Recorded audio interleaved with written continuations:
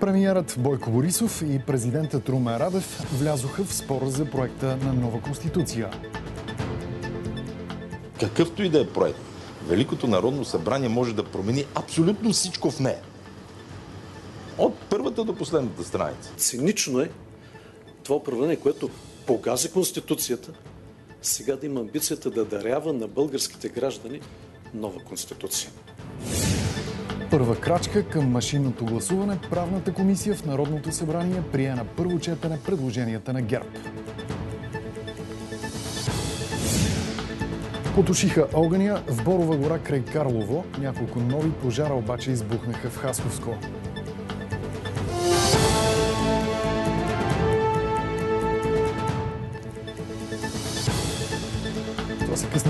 Посветил нас във вторник, 1 септември. Добър вечер.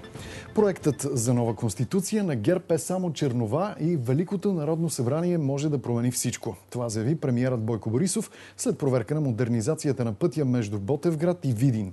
Според премиера през последните дни е станало ясно, че никой не иска нова конституция, а целта е да се състави нов кабинет от типа Орешарски.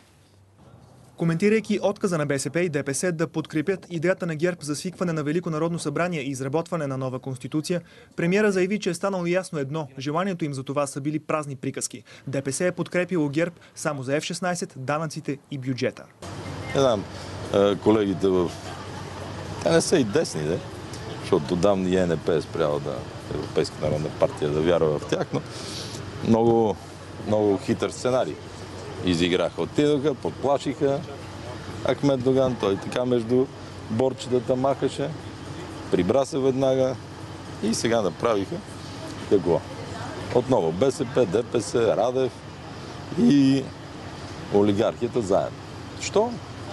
Борисов обясни, че ГЕРБ предлагат само черновата на проект за нов основен закон. Така че, колко линии за всички стана ясно, че приказките за Велико народно събрание, нова конституция са абсолютно били празни приказки от всяка страна за един лева. Защо? Всеки юрист знае, че това, което предложихме ние е просто една чернова. Проект, който всяка дума, всяко изречение, всеки ред, всеки абзац, Велико народно събрание може да промени. По думите му, всички са лъгали с определена цел. А сега искат един насипен парламент. Защо? Защото да има пак кабинет тип Орешарски. Това е целта. Още една лъжа падна. Много ме радва. Стана ясно за всички, кои са сценаристите, какъв е сценарий, какво искат да направят. Олигархия, Бошков, Радев и всички останали. Борисов е убеден, че ГЕРБ ще събере 120 гласа за внасяне на проекта на нова конституция. На въпрос какво следва, ако това не се случи, отговори работа. Отново стана ясно. Почват да умуват какъв бил проект на новата конституция. За децата е ясно, че какъвто и да е проект, Великото народно събрание може да промени абсолютно всичко в нея. От първата до последната страница. Това беше нужно, за да покажем воля политическа. Има ли за рестарт? После може да стане това, което казват БСП, ДПС или всички, които са във Великото народно събрание. Слави Трифон. Що не иска? Защото са лъгали. Вице-премьера Красимир Каракачанов заяви, че ВМРО ще се подпише под внасянето за обсъждане на проект на ГЕРБ за нова конституция, само ако бъдат прияти и техните предложения. Те имат едни предложения предвид от ГЕРБ, ние имаме други, НФСБ сигурно имат трети, вероятно и други парламентарни групи. Ще имат някакви предложения да се обсъди, ако се стигне до единомислие да се внася. Няма как да гониш, и сега на вашия въпрос, 160 гласа, при положение, че ти не си направил никакъв дебат в парламента, който трябва да вземе подобно решение, кой какви идеи има и кои са приемливи и кои не. Останалото са просто празни приказки. Ако ще се променя Конституцията, тя трябва да се променя глобално, смята Каракачанов. Единственият компромис, който може да направим е следния да се направи референдум не само по нашите предложения, по всички предложения в Конституцията. Тогава ще видите какво предпочитат хората. И чак тогава, заедно, ако ще се правят избори въобще за Велико народно събрание, да се направи референдум. А не утре, в едно бъдещо Велико народно събрание, да се променя Конституцията според политическата конъюнктура. След като придружаващата премиера Русица Кирова, която е лидер на движение Единни за промяна и координатор за Видин на партията на Слави Трифонов, пика в с него, шоумена я освободи от длъжността. А Борисов отрече да сформира коалиция с Трифонов. Президентът Румен Радев е готов със свой проект на Конституция, но ще го обяви след оставките на премиера и главния прокурор. Това заяви държавният глава след като откри новата учебна година във Военната академия. Радев призва депутатите да не гласуват за експертен кабинет, който би бетонирал режима на Борисов. Утре държавният глава ще направи обращение към Народното събрание при откриването на новата парламентарна сесия. Според държавния глава, правителството е изчерпало общественото доверие, няма право да предлага управленски решения и трябва да си ходи. Тези нестихващи протести са истинския обществения вод на недоверие към правителството.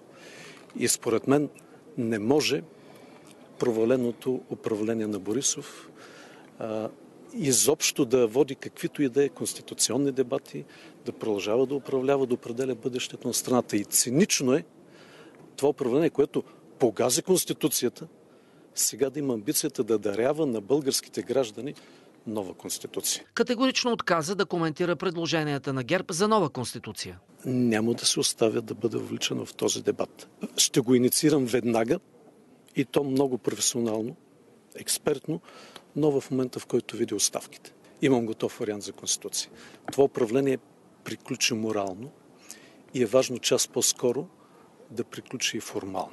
Всичко друго е агония и само пиле на историческо време и подклажда още повече гнева на хората. Радев се обърна към депутатите да не позволяват бетониране на настоящия режим. Те в никакъв случай да не гласуват за експертен кабинет.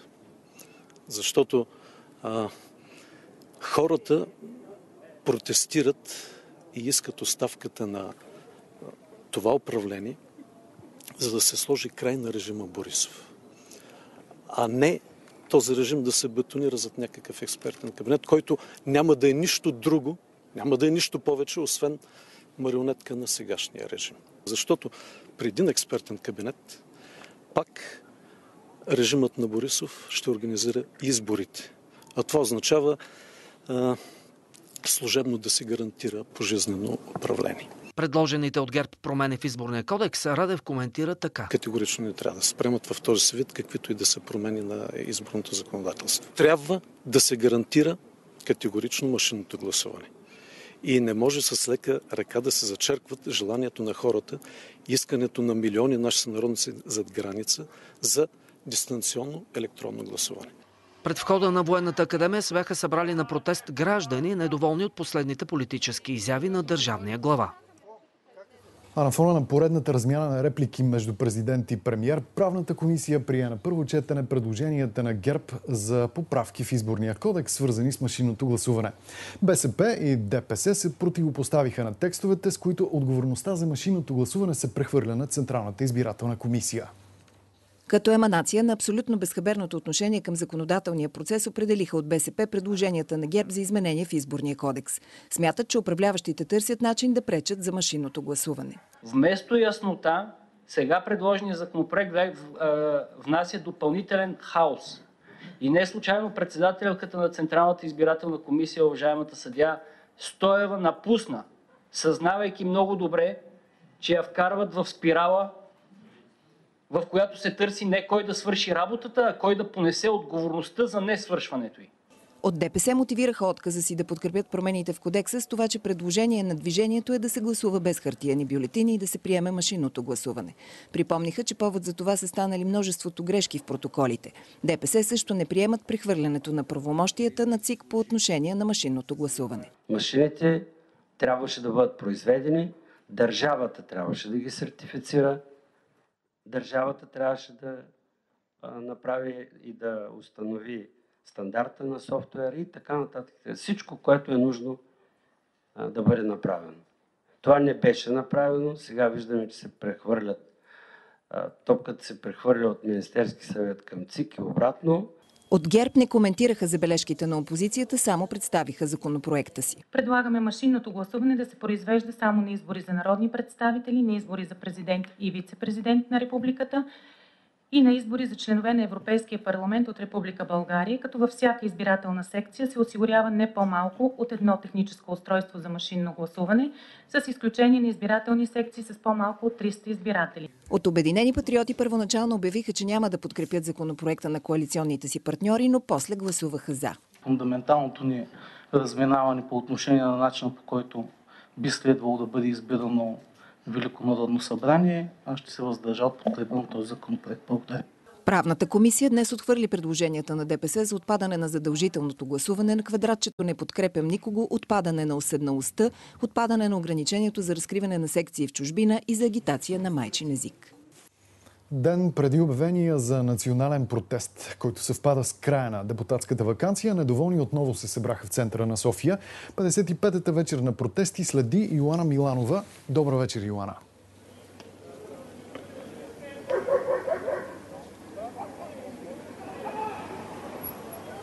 Добър вечер. Намирам се на Орлов мост, който и тази вечер е крайната точка на протестното шествие. Обстановката тук е спокойна. По-рано протестиращите по традиция се събраха на триъгълника на властта, където ден преди големия протест беше засилено полицейското присъствие.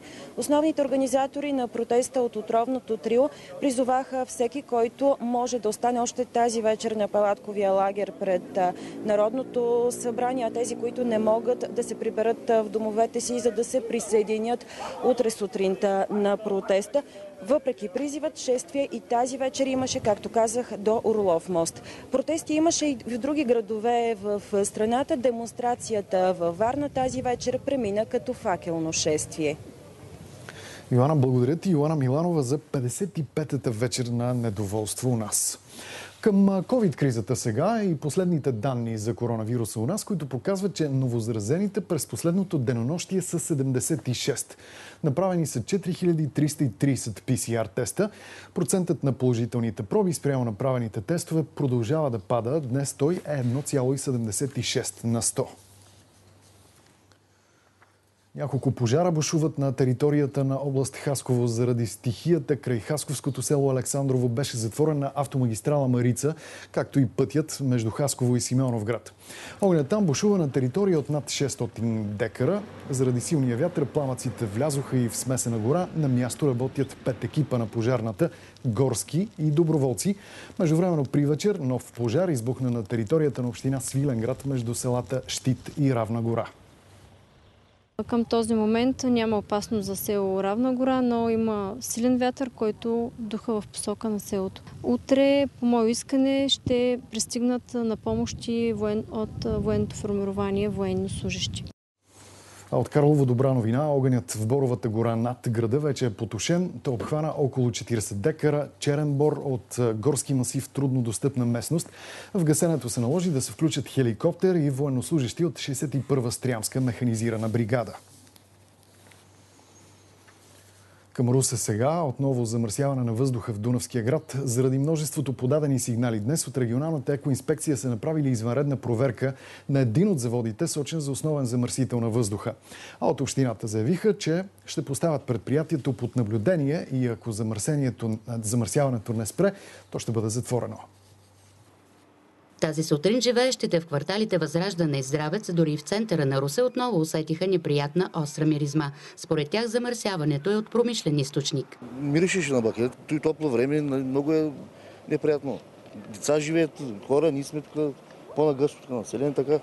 Преди няколко дни, като пътувах от Разград, от Мартин към Русе, имаше дим, смисъл като мъгливо беше. И дигнах си прозорците нали, на колата, защото мирише гално. Проверката на екоинспекцията в завода Монтюпе днес не е установила нарушения, но контролът продължава. Кметът на Русе заяви, че предприятието ще бъде поставено под денонощно видеонаблюдение от общински служители. Очакват от гранична полиция да им предостави и термовизионна камера. Този замърсител и който ще да е друг замърсител, няма да го допусна да работи ни миг повече. Защото когато системите работят и прозорците са затворени, замърсяване няма. И когато всички спим по най-вероломен начин, ще отварят и ще замърсяват. От Община Русе ще настояват пред Екоминистерството да им предостави мобилна станция за вземане на проби на въздуха, за да се установи замърсителят. И две криминални теми сега. Мащабна акция на ГДБОП и ДАНС в Бургаска област. По неофициална информация става дума за разследване за пране на пари. Задържани са няколко влиятелни бизнесмени от региона, други са отведени само за разпит. В Морския град са командировани и полицаи от специализираните сили. На този етап от полицията отказват официална информация, тъй като операцията е секретна. Двама служители на общинска полиция в Ямбол са били нападнати пред сградата на общината. Агресивен мъж, помолен от полицаите да използва предпазна маска преди да влезе в сградата, им отвърнал с нецензурни реплики и заплахи, а по-късно им нанесъл и удари и им причинил наранявания. Нападателят е задържан. По случая е образувано досъдебно производство. Около 12-12 без на обяд служители на общинска полиция са помоли да съдейства от охраната на общината за във връзка с граждани, който се държал неадекватно и е дигал висок тон. Те са му поискали нали, да сложи просто една обикновена маска, той започва да се държа арогантно и оттам става скандал и вече посяга на нашите служители Технологична тема от света Фейсбук предупреди, че може да забрани споделянето на новинарско съдържание на територията на Австралия. Причината са плановете на властите да изискат от интернет гигантите да заплащат на местните медии за публикациите, които излизат на техните платформи. Подготвен е законопроект, който вкара Камбера в конфликт и с Google.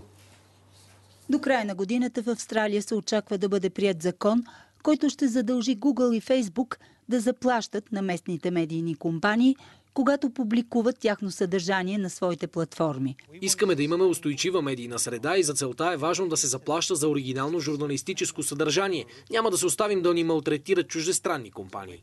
Дигиталните гиганти ще бъдат заставени да сключват споразумения с медии, които искат годишни плащания за стотици милиони долари. Отговорът на Фейсбук е категоричен. В свое изявление директорът на компанията за Австралия и Нова Зеландия Уил Истън посочва – ако този законопроект бъде прият, с неохота ще ограничим издателите и хората в Австралия да споделят местни и чужестранни новини във Фейсбук и Инстаграм. Това не е най-добрият избор за нас, но само така ще се предпазим от последствията, които противоречат на логиката. Мярката се свързва с спадналите приходи от реклами. Наскоро от Google предупредиха, че тя ще влуши драстично услугите на тяхната търсачка. Минута култура за финал. Столична галерия представя уникална колекция с плакати на Кристо и Жан-Клод. За съжаление, България притежава много малко творби на Христо Явашев Кристо, който тази година напусна земната сцена. През 1992 година Димитър Крузданов, създател на фестивал за изкуството на неконвенционалните форми, кани за участие български автори от цял свят. Кристо не идва в Бълчик на фестивала Процес пространство, но изпраща собственоръчно подписани плакати на свои проекти, за да подпомогне инициативата. Представянето в Бълчик е направено на фона на една опакована стена в типичен стил на Кристо. Предполагам, че е било символи... символично решение на куратора. Емблематични пространства, опаковани от Кристо и Жан Клод, се събират в колекцията. В галерия Росита разказват историята на проектите, за избора на места, използваните материали и символите. Ние сме по-запознати с неговите последни творби, повечето от които посетиха и Европа. Хубаво е да направим един поглед и назад, за да си спомним и за неговите мащабни проекти на други места. Изложбата е посветена на изкуствоведа и основател на процес пространство Димитър Грозданов, който също напусна земната сцена тази година. След онлайн изданието с мото Райските градини, фестивалът продължава напред. Още новини в реално време може да намерите в сайта ни bnetnews.bg в мобилното ни приложение и на фейсбук страницата на Посвети у нас. Следва спорт, Сивия Илиев. Спокойна нощ!